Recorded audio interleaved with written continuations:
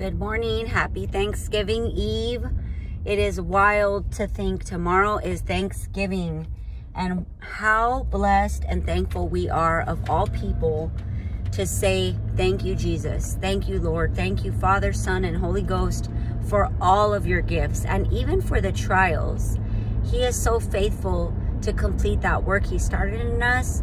He's faithful to carry us through, though the waves come and the storm blows and we're scared and we're weary and we're depleted and exhausted and our muscles ache and our heart aches. We're not crushed.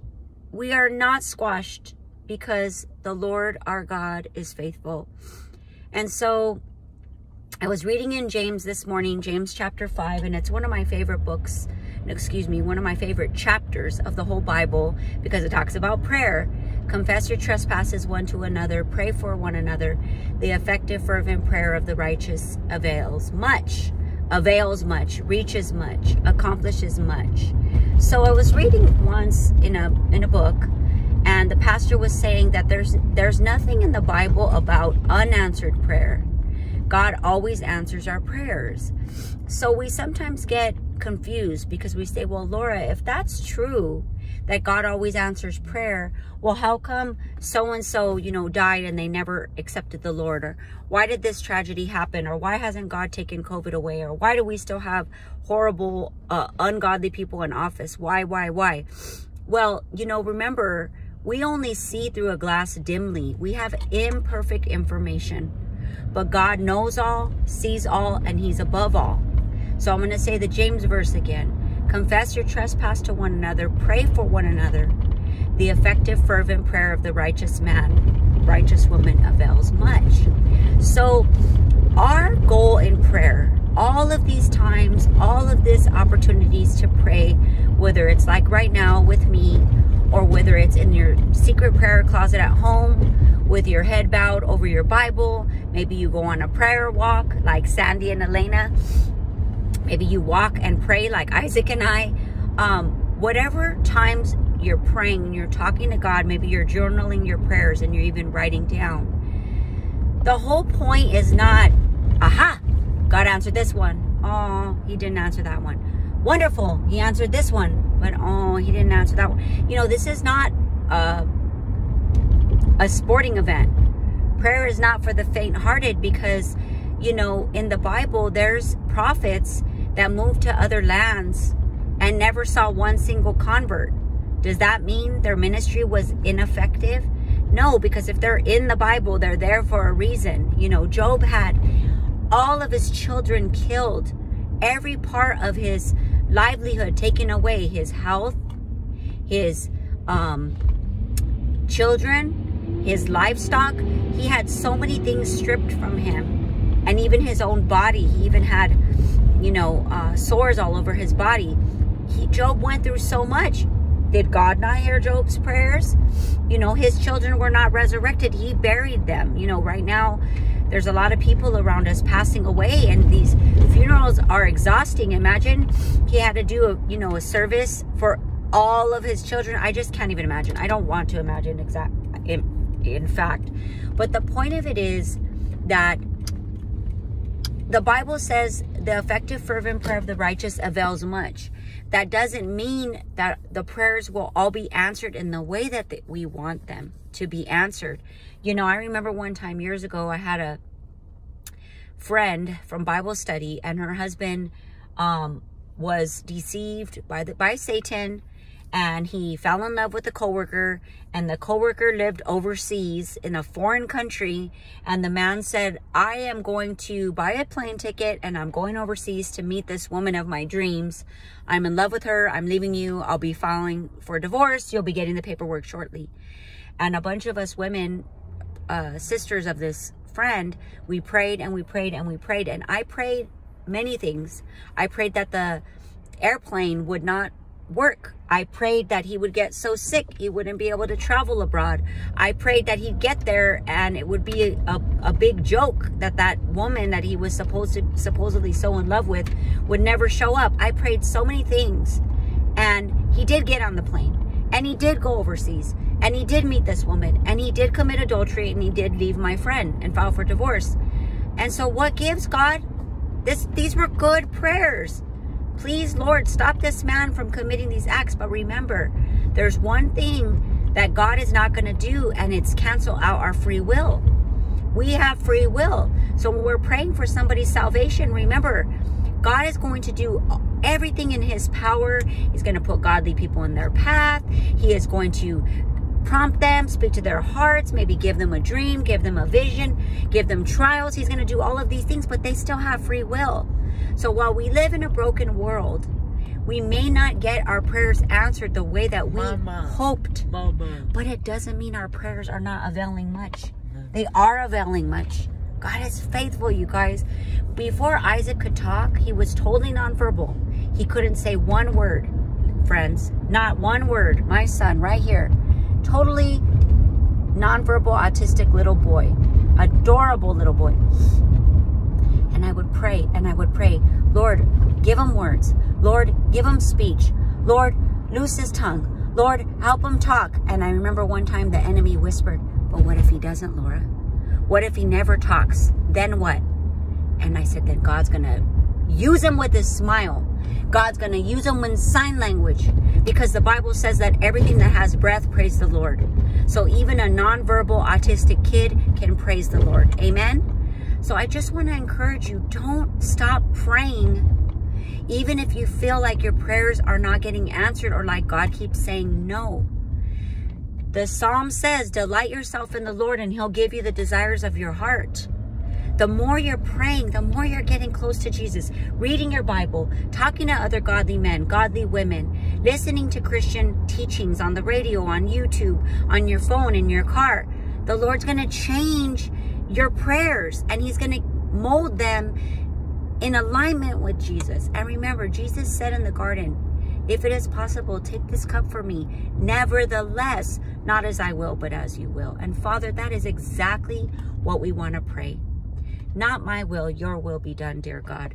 Not Laura's will, your will be done. Not Chuck's will, your will be done, God. Your will be done on earth as it is in heaven, King Jesus. We go through this life and it's exhausting and we go through many trials. And like Dr. Tony Evans said, when Peter looked at the waves, he started to sink. But when he locked eyes with Jesus, he walked above on top of the waves. It's not about the storm. The storm did not cease. It's about who are we locking eyes with? The boisterous waves or our King Jesus? Lord, you're the King of the world. I love that song that says, why did I forget that you've always been the King of the world? You were the King on the throne above all planets, above all galaxies, above the stratosphere. You're the King of our hearts and you're above everything, Lord Jesus. And you saw fit to save us. Lord, you opened our eyes out of darkness into your marvelous light and you showed us truth that set us free. Thank you. Thank you for the cross. Thank you for heaven. Thank you for salvation. Thank you for the promises that you are the yes and the amen. Thank you for the thousands upon thousands of promises in the Bible that you will never leave us nor forsake us. That if we ask, seek, and knock, you hear, and it will be open unto us. Thank you for your promise that you're the bread of life and the living water. Thank you that you are the same, Jesus Christ the same, yesterday, today, and forever.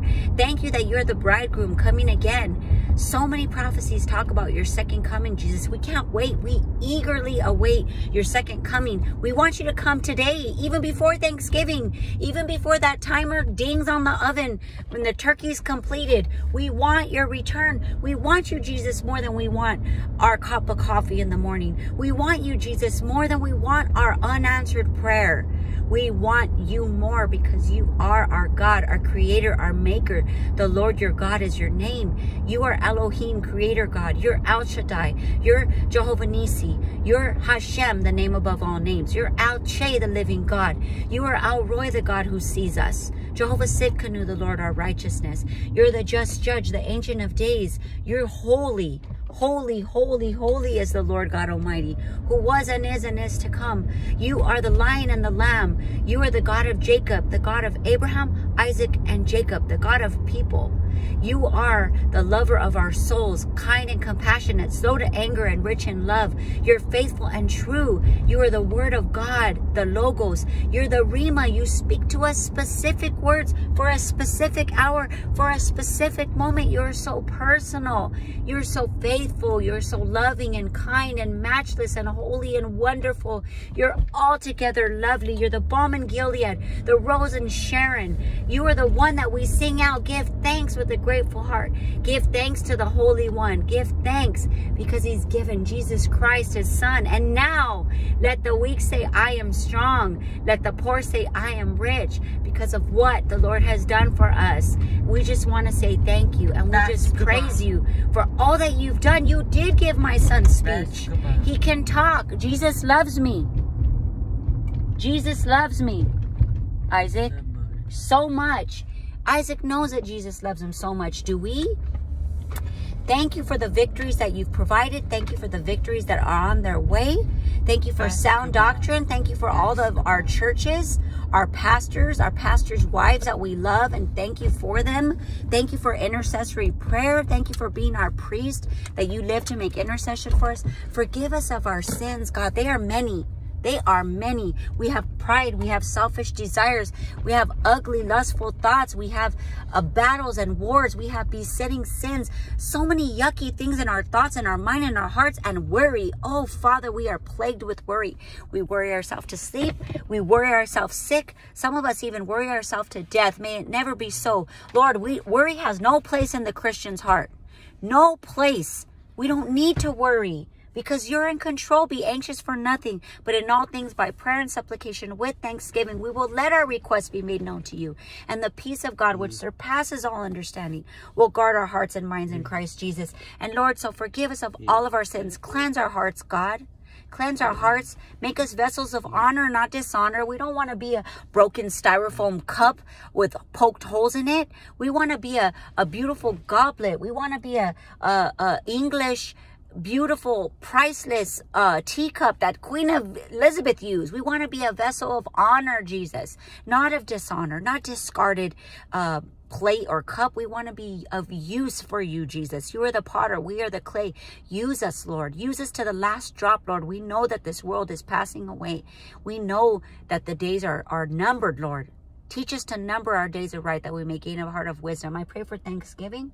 I pray you would bless all of the gatherings tomorrow. I pray you would bless each and every person praying with me right now and each and every family member represented and the lost, the prodigals, the backslidden, those in homosexual activity, fornicators, Lord, those that have left their families, those have abandoned their families, those that hate you, God, those that say they're atheist, agnostic. I pray for their souls, our family members, God, the ones we love dearly, God.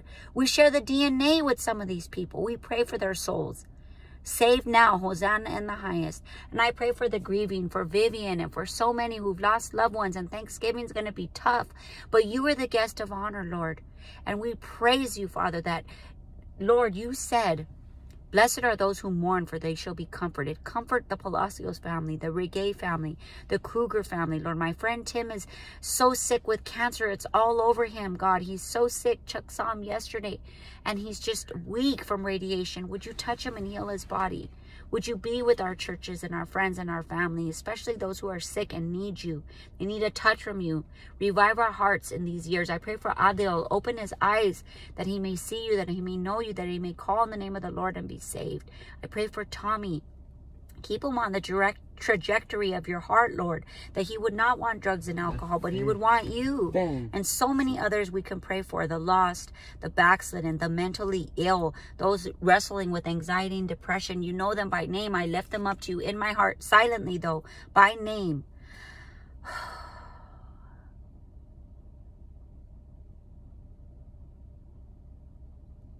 Father, we are praying silently, but we know you hear us openly, Lord. Forgive us of our sins. We praise you. We worship you. We need you. And we just give you thanks with a grateful heart. Bless our Thanksgiving time today and tomorrow as we gather together, Lord. It's not about the turkey. It's not about the food. It's not about the Black Friday shopping. It's not about the beautiful um, plates and, and, and side dishes and even games and laughter and football. It's not, it's not about that. Those things are wonderful. It's about you, Jesus. Would you be the guest of honor, the head of every household, as we give thanks for all of your blessings? You bless us more than we deserve, and by your grace we are saved, and we're so incredibly, eternally thankful. In Jesus' name, amen.